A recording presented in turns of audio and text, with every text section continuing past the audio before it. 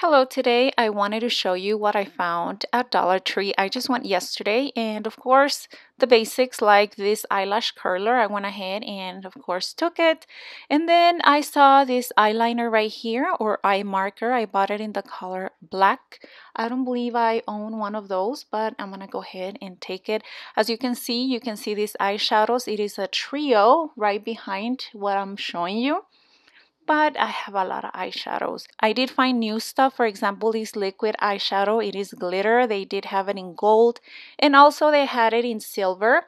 And then they had this lip gloss right here. Also, I found another lip gloss and this one has a pom-pom and it looks super cute. This one is in the color pink. They did, they did have others in other colors and they keep, I don't know, they have a lot, they had a lot of lip glosses if you're into nails, they did have these ones right here that are my favorite, but you might like them. And another product that caught my attention was this uh, electric nail kit.